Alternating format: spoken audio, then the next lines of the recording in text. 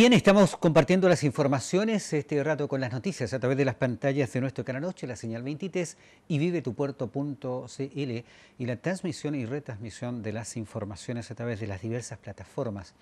Nos está acompañando en este minuto René Betanzo Gómez, que mm, es eh, exalcalde ah, de la comuna de San Pedro de la Paz, ¿no es cierto? Postuló en su momento y seguramente debe tener eh, en su pauta programática partidaria eh, algunas eh, posibilidades o pensamientos derivados hacia los comicios del año 2024. Pero antes de aquello, los saludamos a René.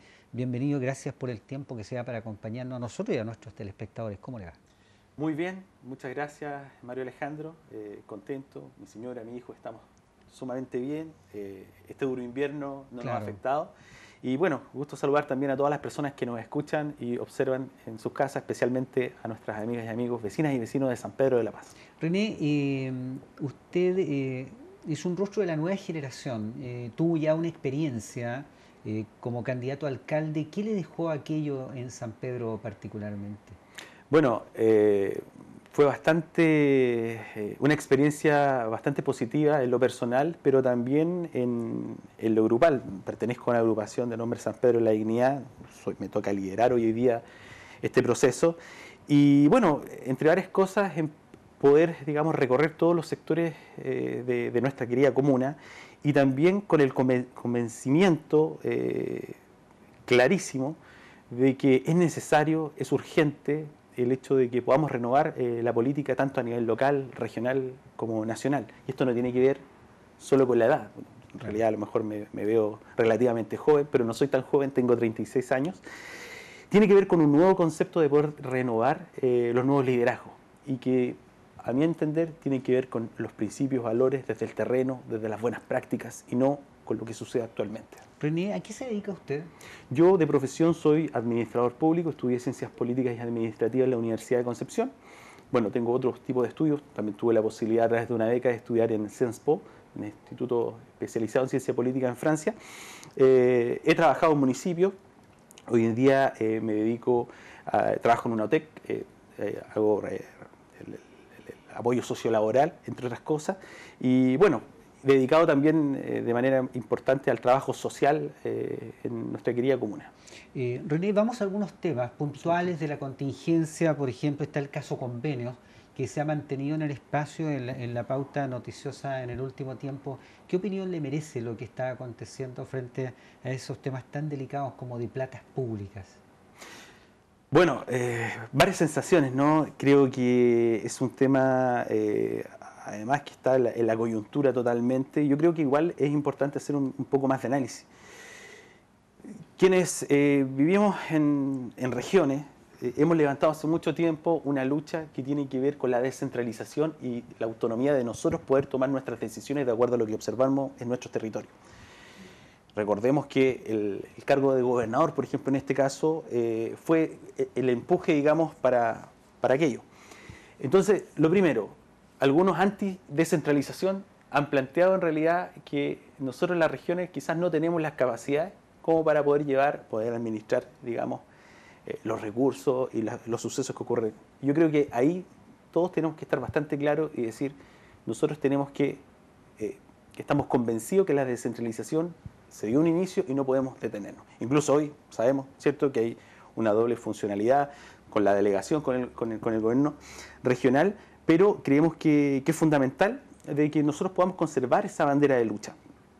Eh, además, comentar un par de cosas más, ¿no? Eh, sabemos que el gobierno regional tiene distintas funciones, eh, atribuciones, necesidades de poder complacer, digamos, a la comunidad.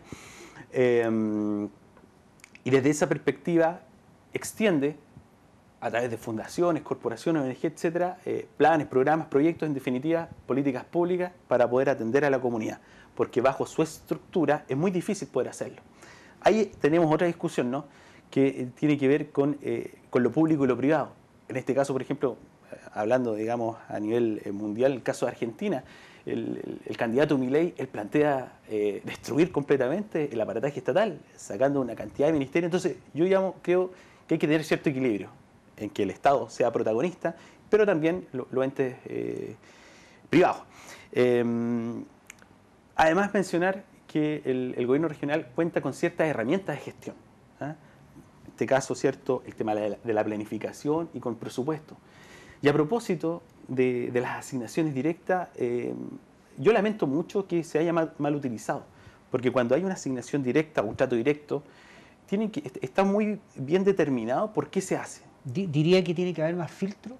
Más filtro, por supuesto, por ejemplo, en, el caso de em, una, asignación directa o trato directo, es decir, cuando es algo puntual, una emergencia, inundaciones, los incendios forestales, o cuando ese servicio depende a lo mejor solamente de un proveedor, en este caso a lo mejor a nivel nacional, o, hay que salir a buscarlo, y ahí uno entiende ese trato directo, pero en otras condiciones, cuando uno planifica de un año a otro, uno puede establecerlo abriendo licitaciones públicas y no cerrándonos eh, lo, que está sucediendo hoy, en día. se corren muchos riesgos. Demasiado riesgo y nosotros además tenemos que ser, eh, nosotros como ciudadanos exigimos que nuestra autoridad y que el aparataje estatal nos dé confianza. Hoy, por ejemplo, está muy bullado el caso Polici. En lo personal, a mí me sorprende bastante porque si uno hace un, pequeño análisis, uno dice, bueno, eh, ella hace, fue candidata a alcaldesa, fue candidata a diputada y no tuvo, digamos, una gran representación, digamos. Y uno dice, ¿cómo es posible que, pueda escalar tanto? Y, a mí, en realidad, la suspicacia es lo primero. Eh, y cómo llega, digamos, a tener reuniones con el, con, el gobernador y poder eh, tener este, este, tipo de, relación y de beneficio, digámoslo derechamente, eh, y tan fuera de, las normas éticas y morales. Y además quiero recalcar una cosa sumamente importante y que me llama la atención. En este caso tenemos a una fundación totalmente doblegada, en este caso Fundación en Ti, eh, tiendo su pareja, un amigo, y no solo eso, tenemos fuera hoy a un seremi de gobierno, a tres hombres tremendamente importantes en la gestión de la, de la gobernación, probablemente los tres hombres más importantes después del gobernador. Por la cercanía. Por supuesto. Y, por la eh, cercanía y nivel de confianza que existe. Es, esa mezcla, por supuesto, que, llama la, la, atención. Y por otra parte, tal vez sí, tal vez no, en lo que yo puedo observar, incluso el futuro proyecto del liderazgo de Rodrigo Díaz en la región, porque qué duda cabe que es un líder innato, pero sin embargo su, condición política, su futuro político, también pudiese estar tremendamente eh, afectado, o sea, de hecho está afectado, pero eh, quizás para el futuro eh, puede incluso hasta desaparecer en estos casos. Y en ese, en ese aspecto yo quiero, quiero mencionar algo muy claro yo he escuchado las declaraciones de él y, no tengo por qué dudar, digamos, de que están las manos puestas, expuestas, incluso creo que ha tenido buenos gestos, por ejemplo, disponer de sus cuentas corrientes para la investigación eh, de manera libre, digamos, él eh, como, como, gesto. Pero también no puede ser solo eh, un argumento el hecho de tener manos limpias. Las manos limpias es natural en un servidor público. Pero cuando uno elige a un gobernador o elige a una autoridad, ya sea un alcalde, un gobernador, un presidente, eh, lo que nosotros estamos buscando no solamente ese tipo de valores, sino que además la capacidad de poder gestión, de poder liderar, de manejar esa cantidad de recursos con la rigurosidad que merece, es menester. Y por otra parte, si nosotros en la gestión nos damos cuenta que hay ciertas debilidades, entonces tenemos que prepararnos para ello. René, eh, lo quiero llevar a San Pedro, a, la comuna en la que usted participó como candidato en su momento a alcalde. ¿Cómo está San Pedro hoy día? ¿Cómo lo advierte en diversos temas? educación, salud, seguridad pública. ¿Cómo está la comuna? ¿Qué dice su olfato? Bueno, mi, olfato eh, que tiene que ver con la conexión con la comunidad, con los distintos barrios, es que estamos muy preocupados porque vemos eh, con gran preocupación de que justamente los temas que usted eh, menciona, no hay una preocupación real o una proyección de trabajo de hoy a un mediano o a un largo plazo. Y, precisamente tocando el tema de la seguridad, por ejemplo, eh, hace, pocas, hace pocos días tuvimos bastante, hemos tenido bastante problema. Eh, hace unos días hubo un accidente, una persona fallecida con, el biotren, em, eh, balazos, asaltos, portonazos, entre otras cosas. Y, se van mezclando, ¿no? Esto, esto es un popurrí de, de, situaciones que lamentablemente se van afectando. Entonces, cuando hablamos de seguridad, no es solamente lo que acabo de mencionar, ¿no? los asaltos, el, eh, los robos. La incertidumbre, las dudas. Por supuesto. Y, esto es un efecto dominó, porque, eh, por ejemplo, si, le añado el transporte, y se sabe que la locomoción colectiva tiene un horario circunscrito hasta las 20 horas de San Pedro, no sé si, no sé si más, por el riesgo que representan. Se van sumando factores. Por supuesto, justamente. Y en, este caso estamos tocando el tema del, transporte público. En este caso, por ejemplo, de la persona que, lamentablemente falleció, eh, las ambulancias trataban de llegar para poder socorrerlo, pero precisamente por el caos vial fue, era imposible. Y también quiero ampliar un poco la gama respecto a lo que nosotros observamos como, como seguridad, que no es tan solamente lo, tangible, lo que hemos comentado. Este día domingo, eh, en el sector donde habito, que es Candelaria, hubo un incendio, un terrible incendio, que, con pérdida total. Y los bomberos cuando llegaron para poder apagar el incendio, eh, los grifos eh, tuvieron que hacer unas conexiones prácticamente sobre 300 metros para recién conectar un grifo. Entonces, no pasa nada hasta cuando pasa.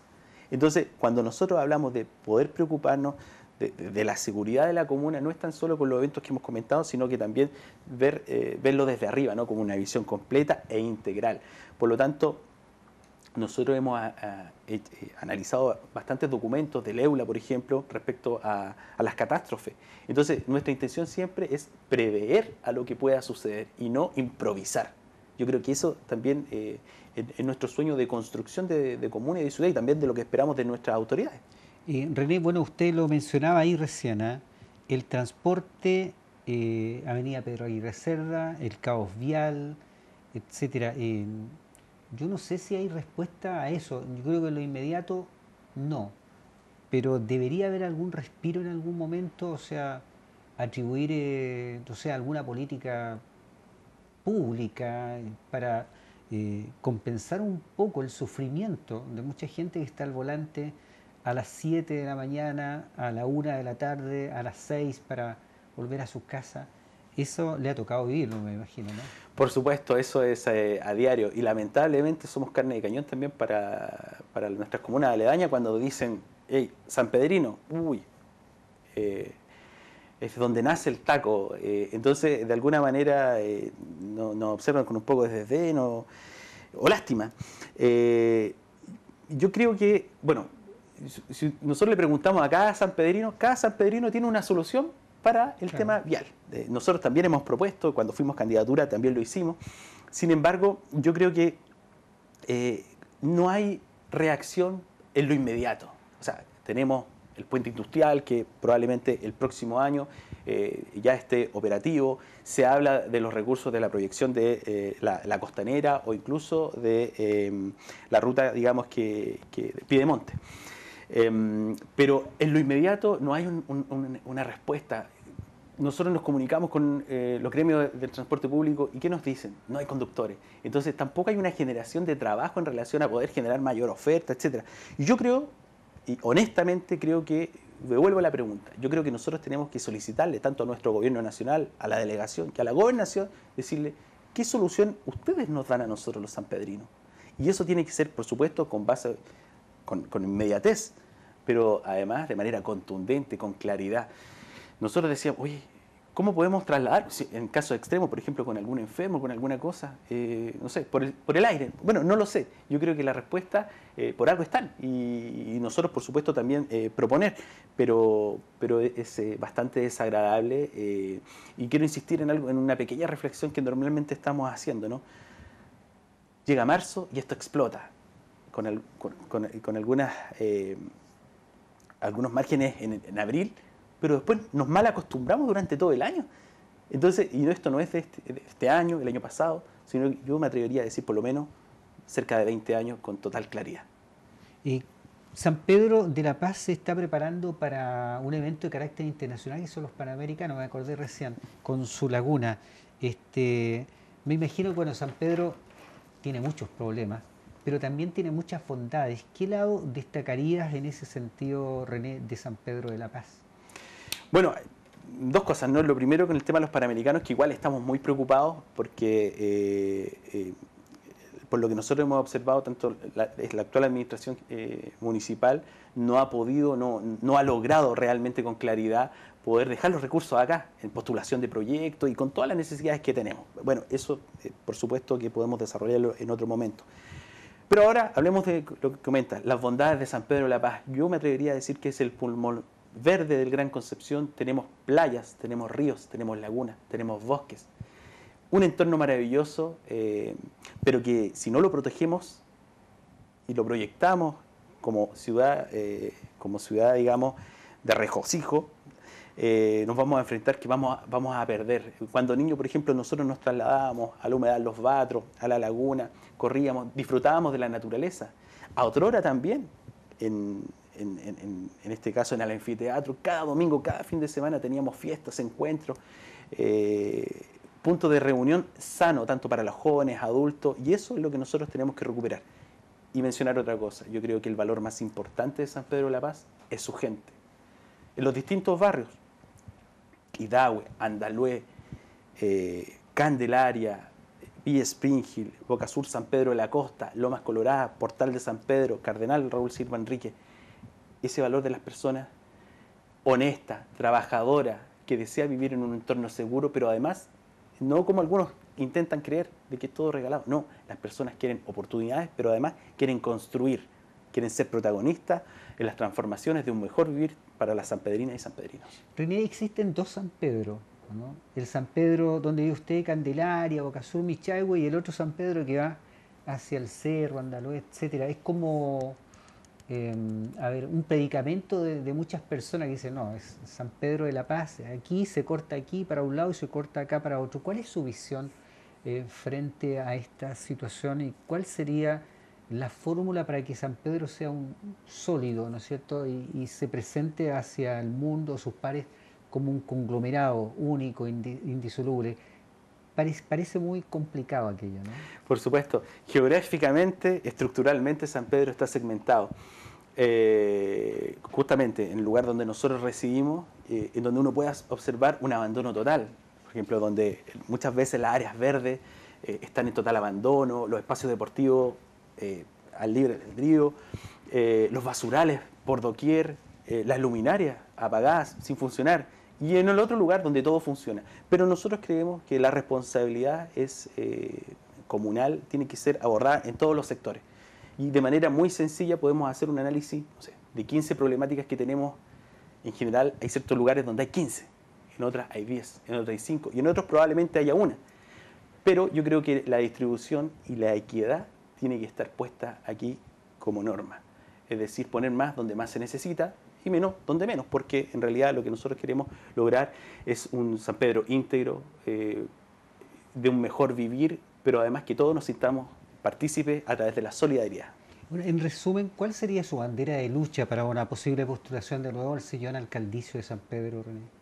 Bueno, siempre ha estado la, el hecho de poder luchar eh, versus a la desigualdad, que es una característica natural de San Pedro, pero también es en el mejor vivir, en un bienestar, en donde nos sintamos más seguros, con oportunidades, con una mejor salud, educación, entre otras temáticas. Tarea difícil. Muy difícil, pero completamente eh, es posible. diría usted? Por supuesto, no, no, es una quimera. Nosotros quienes, quienes soñamos con un mundo mejor estamos convencidos que la única batalla que se pierde es cuando dejamos de creer, cuando dejamos de soñar y por supuesto cuando dejamos de luchar. Eh, usted eh, está em, en una teórica candidatura al sillón municipal de San Pedro. Iría, em, no sé, eh, de, la mano de algún conglomerado político, una lista, ¿está listo, definido aquello o todavía está en conversaciones? No, la verdad que nosotros, por supuesto, yo tengo una definición política dentro del espectro, pero nosotros siempre hemos sido independientes, jamás hemos militado en partidos políticos. Y en esta ocasión nosotros, si es que Dios lo quiere y la gente, porque así lo ha manifestado, si es que llegásemos a la papeleta lo haríamos eh, a través de las firmas correspondientes y, e invitando a la gente eh, o, a los militantes a, poder unirse a este, este proyecto. Eh, nosotros la diferencia que hacemos es, es clara. Nosotros queremos trabajar y construir con quién? Con las personas que tienen como bandera lucha los principios, valores, la responsabilidad, la honestidad, el compromiso, las buenas prácticas versus con quienes no los queremos ver por ninguna parte, que quienes tratan, son amigos de la corrupción, primos del aprovechamiento y que solo están en busca de objetivos personales. Usted sigue reuniéndose con la gente, dice, periódicamente igual, ¿no? Por supuesto. Sin estar en campaña necesariamente. No, no, no, no, para nada. Nosotros siempre nos, vamos reuniendo porque esa ha sido nuestra labor junto a la agrupación San Pedro de la Guinea, pudiendo apoyar a través de planes, programas, proyectos, eh, trabajos colaborativos, por ejemplo, limpiando eh, sectores microbasurales, recuperándolo, eh, bueno, y entre varias materias, las cuales estamos siempre disponibles para poder apoyar a la comunidad. Ha sido muy gentil por su tiempo, ¿ah? por, venir a nuestro canal. Muchas gracias. muchas gracias, eh, Mario Alejandro. Para mí siempre es un gusto y un honor poder estar en este espacio. Muchas gracias. Seguimos en contacto. Ya, muy bien. Gracias. Nos ha acompañado René Betanzo Gómez, ex candidato a alcalde de la comuna de San Pedro de la Paz. Retornamos en un instante.